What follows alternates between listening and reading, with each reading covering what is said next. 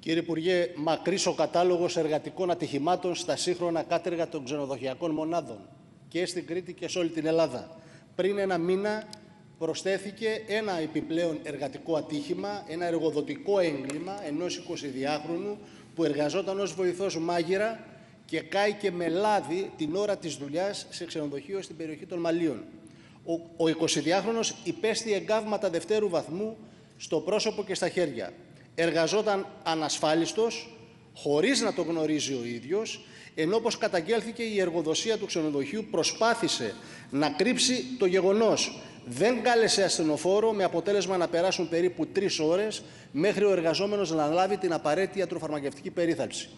Μετά όμως τη δημοσιότητα που πήρε το θέμα και τη δυναμική κινητοποίηση που πραγματοποίησαν οι δυνάμεις της ΔΑΣ στο Σωματείο Ξενοδοχοϊπαλλήλων Νομού Ηρακλείου, η εργοδοσία έκανε εκπρόθεσμη πρόσληψη του εργαζόμενου 30 Ιούνιου με σύμβαση ορισμένου χρόνου για το διάστημα 18 μέχρι 21 Ιούνιου, δηλαδή μία μέρα μετά το εργατικό ατύχημα.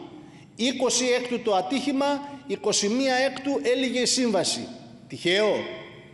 Μέχρι σήμερα δεν έχει προχωρήσει καμία διαδικασία για αναγνώριση του εργατικού ατυχήματος.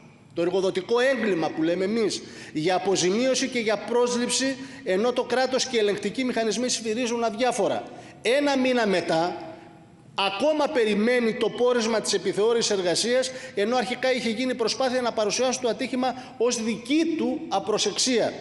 Σας θυμίζω τι λέγατε εσείς κύριε Υπουργέ 36 του 23 ότι το ΣΕΠΕ έχει ήδη παρέμβει από χθες και πόρισμα συντάσσεται και εκδίδεται εντός ολίγου.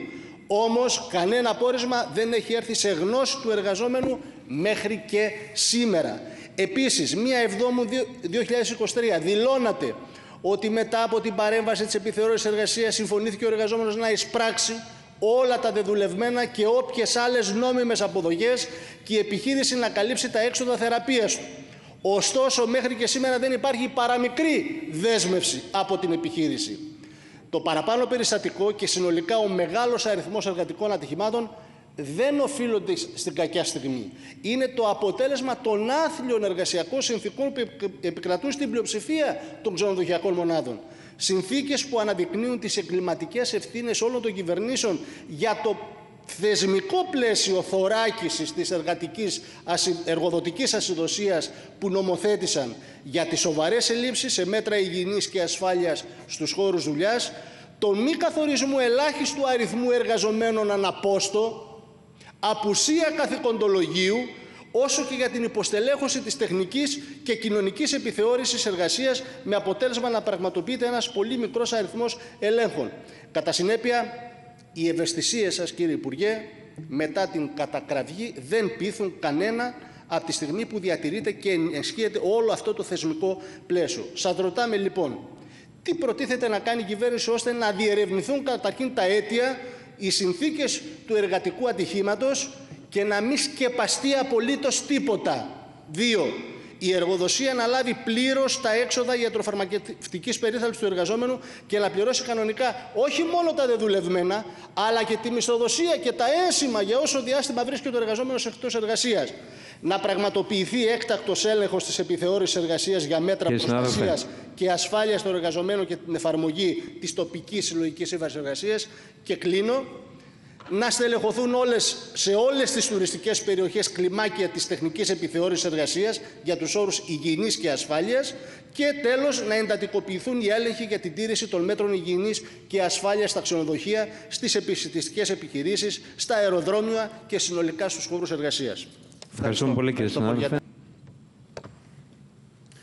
Καταρχάς, ως προς το συγκεκριμένο περιστατικό, το οποίο είναι απολύτως καταδικαστέο, η ανεξάρτητη αρχή επιθεώρησης εργασίας έστειλε αμέσως κλιμάκιο ελέγχου, πιστοποίησε την παράβαση της αδήλωτης εργασίας, έβαλε το σχετικό πρόστιμο και ενημέρωσε τις τοπικές αστυνομικές αρχές, καθώς το ζήτημα αυτό έχει και αστυνομικές προεκτάσεις και ποινικές εννοώ προεκτάσεις.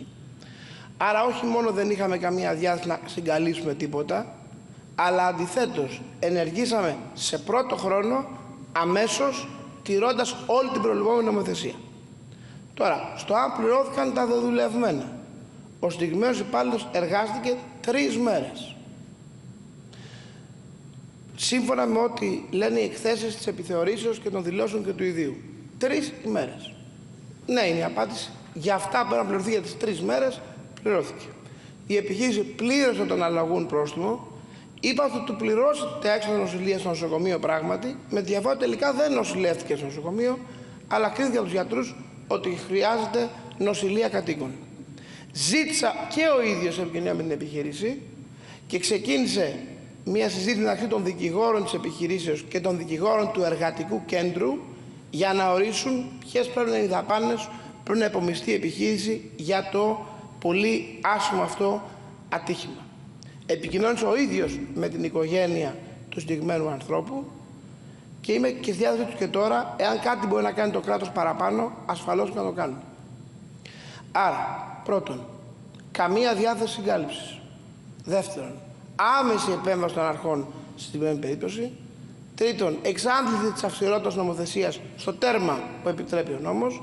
Και ξεκαθαρίζω προς πάσα κατεύθυνση ανοχή στη μαύρη, ανασφάλιστη και αδήλωτη εργασία από αυτή την κυβέρνηση και από μένα προσωπικά δεν υπάρχει καμία απολύτως. Αντιθέτως, παρακαλώ κάθε σχετική καταγγελία να γίνεται στο 1555 και θα πηγαίνει έλεγχος αυθορή και παραχρήμα.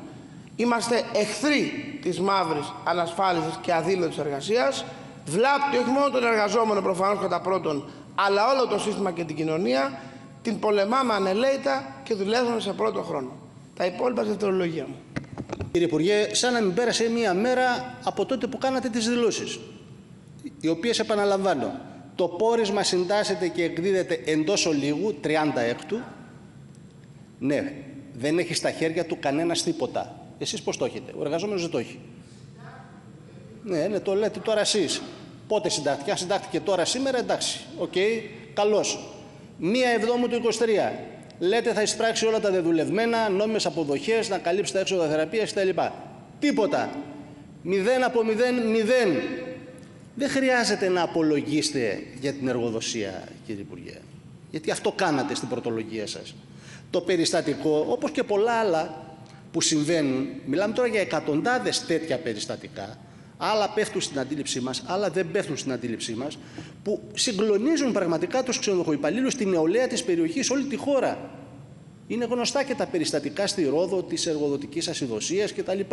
Εκατοντάδες νέοι δουλεύουν μέσα σε άθλιες συνθήκες, προσπαθώντας να βγάλουν ένα μεροκάματο επιβίωσης σε αυτή τη βαριά βιομηχανία που μας λέτε του τουρισμού.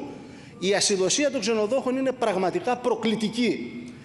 Από το συγκεκριμένο έγκλημα ή μάλλον ο, αυτός ο νέος, ο 22χρονος, ενώ δούλευε 10 μέρες πριν από το ατύχημα στο ξενοδοχείο, τον είχε ανασφάλιστο, παρότι ο ίδιος είχε παραδώσει όλα τα απαραίτητα έγγραφα.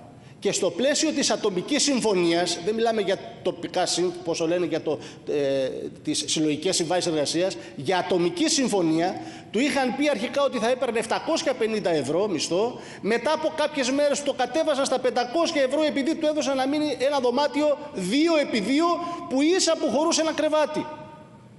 Έγινε το περιστατικό. Αντί η εργοδοσία να καλέσει άμεσα στενοφόρο και να τον μεταφέρει στο νοσοκομείο, τον έβαλαν για μία ώρα στο ψυγείο των κρεάτων.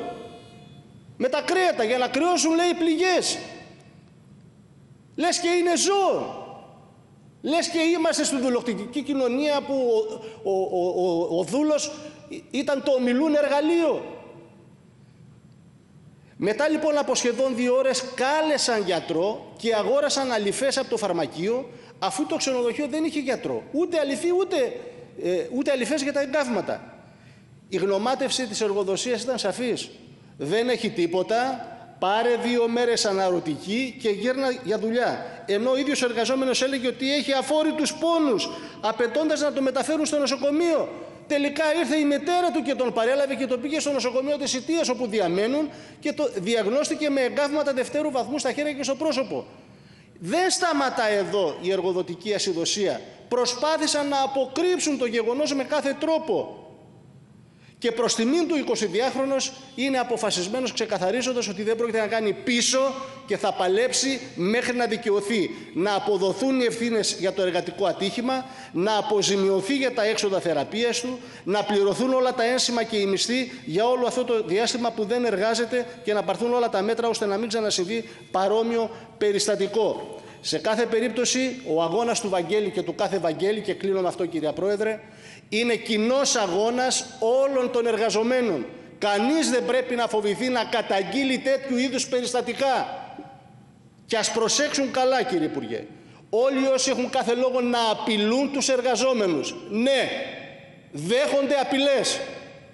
Λέγοντάς τους να κλείσουν το στόμα τους για να μην έχουν κακά ξεμπερδέματα. Δεν θα τους περάσει. Δεν θα το επιτρέψουμε και θα πάρουν βέβαια και σκληρή απάντηση από τους ίδιους τους εργαζόμενους.